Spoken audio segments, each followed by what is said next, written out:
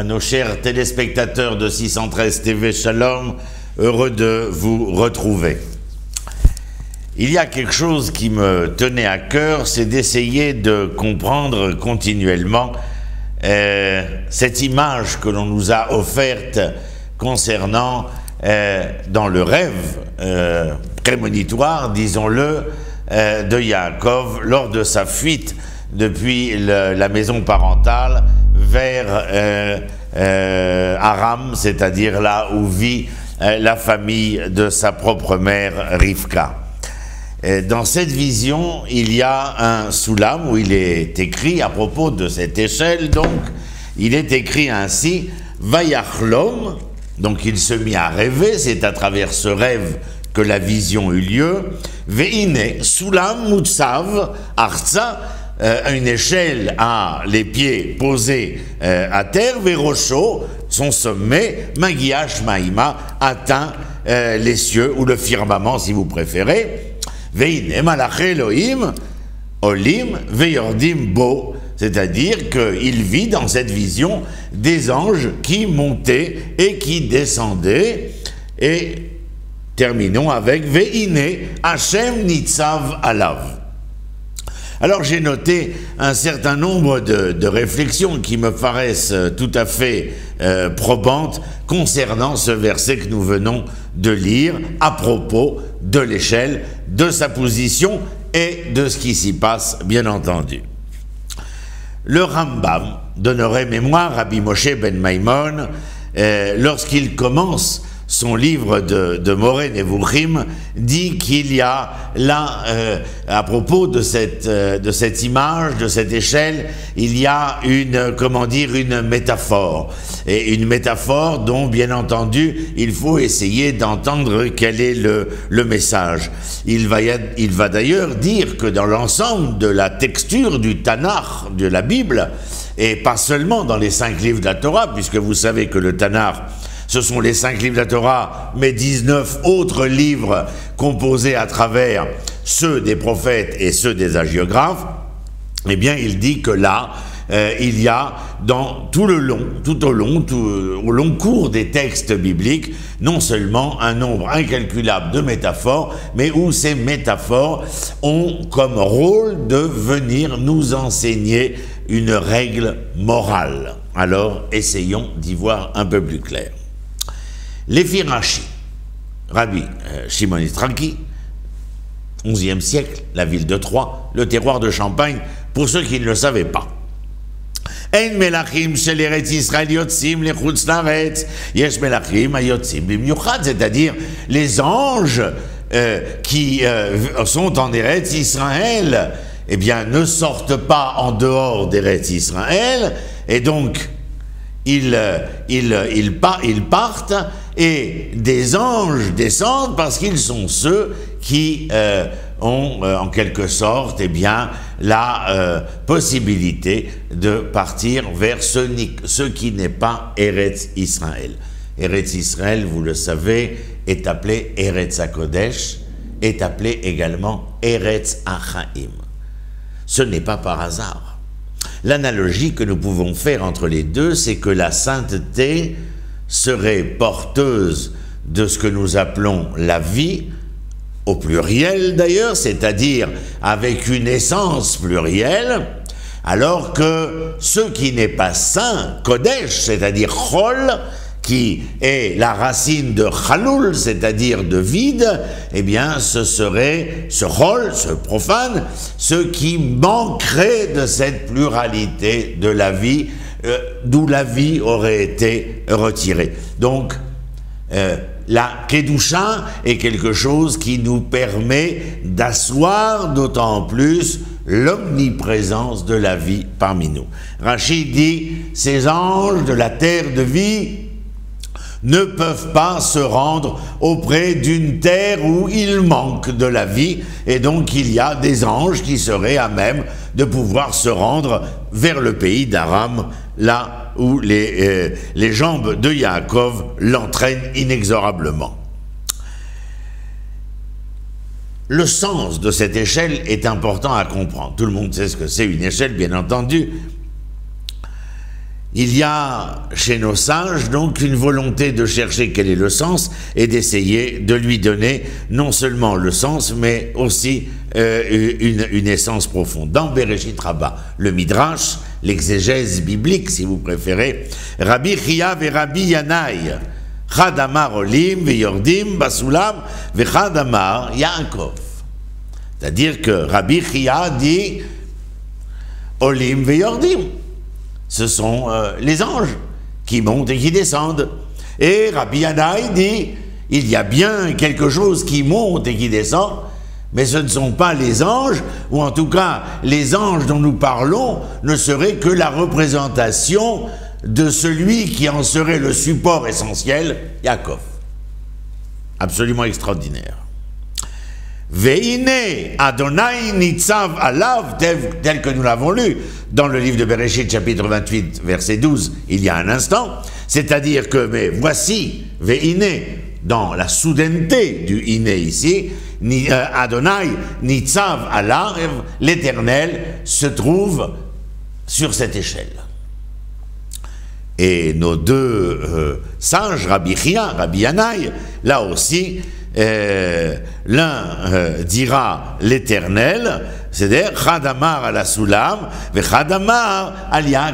L'éternel et se trouve sur l'échelle, à expliquer bien entendu. Mais ce qui nous intéresse, c'est ce que dit euh, Rabbi Yanaï, c'est-à-dire que sur les, lorsqu'il est écrit Veini Adonai Nitzav Alav, c'est-à-dire que l'Éternel se trouve sur, il n'est pas marqué spécifiquement sur l'échelle. Il est marqué sur. Et Rabbi Yanaï comprend qu'il s'agit de que l'Éternel repose, se trouve en quelque sorte Shochen, Milachon Shrina, c'est-à-dire de cette présence divine sur Yaakov. Ainsi Rabbi Yanaï le comprend et ça nous laisse bien entendu très songeurs. Il y a ici un machal que nous apprenons en hébreu, c'est-à-dire un machal une métaphore, et puis il y a un nimshal, c'est-à-dire, comme je vous le disais tout à l'heure, une règle morale à en tirer.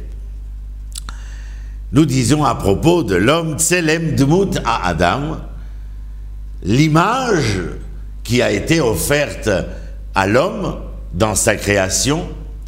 se voudrait, dans le devenir qu'il attend, être capable de révéler un tant soit peu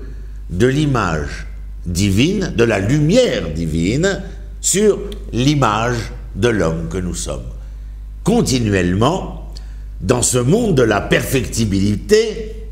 parce que nous ne sommes pas parfaits, mais en voie de perfection, et eh bien dans cette voie de perfection, il est question de révéler la lumière divine sur le visage humain.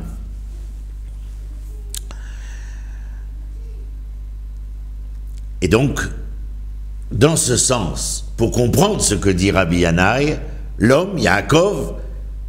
lui, Rabbi Yanaï, qui ne considère pas donc que ce sont les anges pour les anges, mais les anges comme créatures de l'être Yaakov, si vous voulez le côté angélique de Yaakov, ou la Gdusha de Yaakov, foncière, euh, l'essence de cette sainteté-là ne pourrait pas quitter la terre, le terroir ancestral, et seule la partie de Yaakov qui serait plus physique, plus profane, pourrait traverser la frontière vers Aram.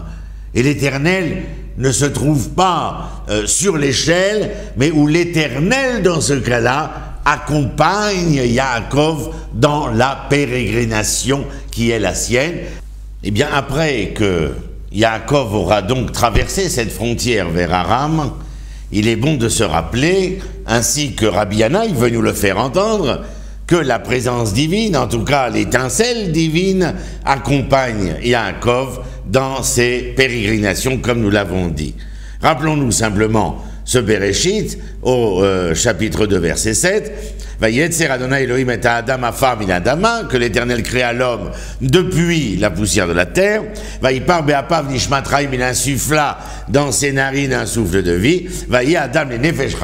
et l'homme devient un être vivant, bien entendu. En clair, cela veut dire que nous avons ici presque cette description métaphorique euh, de l'échelle où, bien entendu, l'âme serait celle qui descendrait ici pour permettre à l'homme de chair et de sang de pouvoir prendre, prendre vie, bien entendu, mais euh, il y a aussi, à partir de cette volonté créatrice, eh bien, d'élever la matière vers la créature. Et en fin de compte, nous pourrions dire presque que au moment euh, où les uns montent et les autres descendent, au moment du point de jonction, eh bien, il y aurait cette création, cette création. Et là, Rabbi Yanaï est très intéressant car il permet de dire qu'au moment de cette jonction, de cette création, eh l'Éternel devient omniprésent et accompagne l'homme dans l'ensemble des voyages qui vont être le sien. Bien sûr, cela relève, cela révèle surtout, mais relève aussi une question importante, à savoir comment est-il possible, question que posera Shlomo Ameler avant euh, l'inauguration du, temple, du, premier Beth Amikdash. Bien, comment est-il possible, bien entendu, que quelque chose d'aussi transcendant que l'âme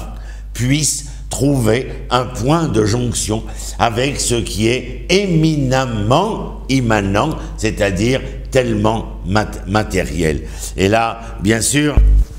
je vous, lis ce passage de Shlomo euh, dans Melachim Aleph, où il dit Kia omnam yoshev Elohim ala Est-ce que l'Éternel peut être omniprésent sur terre.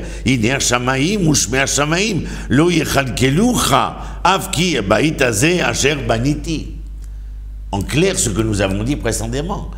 C'est-à-dire que la question se pose, est-ce que ce qui est éminemment transcendant peut trouver une jonction quelconque, un reposoir, un réceptacle quelconque dans ce qui est si matière, si matériel. La philosophie comprendra, bien entendu, que le transcendant, après avoir donné l'ordonnance de cette création, euh, pluriellement matérielle, eh bien, se serait retiré dans ses pénates et que le monde serait lié donc à une loi que nous appelons euh, déterministe non point euh, chez les Hébreux, puisque l'éternel Elohim, créateur des lois immuables de la création, s'appelle aussi dans son autre attribut Adonai, le créateur omniprésent dans l'histoire des hommes. C'est bien celui-là dont il est écrit Veine Adonai Nitzav Alav, c'est-à-dire qu'il est omniscient, omnipotent, omniprésent dans l'histoire de, de, de, cette, de cette humanité. Et, la question que posait euh, Shlomo Ameller était une question à bon escient, mais d'où l'essentialité, bien entendu, de la construction, de l'édifice qu'il venait euh, de bâtir, parce que cet endroit était justement une représentation si matérielle de ce qui était dans l'ici-bas et qui pouvait recevoir euh, au sein du Saint des Saints, si je peux m'exprimer ainsi, eh bien recevoir la shrina, c'est-à-dire la présence divine qui, elle, provenait d'un autre espace et qui allait se, euh, comment dire, se reposer dans le temps limité, la rencontre dans le temps fini de ce qui était infini. Eh bien, ce n'est pas simplement, comme le, voudra nous le faire entendre Shlomo Ameler à travers sa question, et bien, bien évidemment également cette échelle où, qui représente le lien euh, euh, inexorable qui existe de par la volonté créatrice de l'Éternel entre le monde d'ici haut et le monde d'ici bas. C'est nous dire ô combien il est important dans chaque chose que nous entreprenons, quelle qu'elle soit, et aujourd'hui, que nous sommes de retour sur le terroir ancestral dont nous venons de parler, et où ces anges ne pouvaient pas le quitter parce que cela représentait la quintessence de la vie, eh bien il faut que nous soyons capables comme sur le visage de l'homme de révéler la lumière divine, et bien sur le visage de d'Israël comme peuple, d'Israël comme terre, d'Israël comme Torah, de révéler cette lumière divine, bien évidemment, d'être nous-mêmes ceux qui deviendraient capables de trouver ce point de jonction, et je crois qu'à partir du moment où ce point de jonction se fait, en fin de compte, c'est comme si nous disions que le, fil positif rencontrait le fil négatif et qu'à leur contact, eh bien, le courant avait la capacité de bien passer. Eh bien, c'est ce que peut-être, certainement d'ailleurs, les nations du monde attendent lorsque nous disons que le retour d'Israël, c'est ce qui permet aux nations d'espérer, et je crois que leur espérance est de vouloir être au courant de ce que les enfants d'Israël portent en leur sein et de cette identité morale dont l'humanité a tellement besoin pour essayer de comprendre et d'entendre qu'un jour l'homme pourra être assis sur, sous son figuier, sous sa vigne, et pouvoir déguster les délices de son jardin, pas seulement individuel, mais du jardin de l'humanité, parce que peut-être que lorsqu'il y aura ce jardin, tout le monde voudra lui donner le nom du jardin d'Éden retrouvé. À très bientôt. Shalom à vous tous.